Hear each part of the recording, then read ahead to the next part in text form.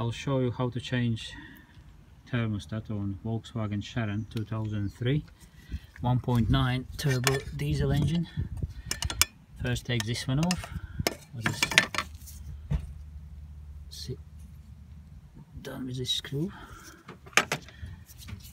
Then you undo two screws. They're nearly done. I use just 10 wrench it's quite easy to get to it. Now I'll disable this plastic hose.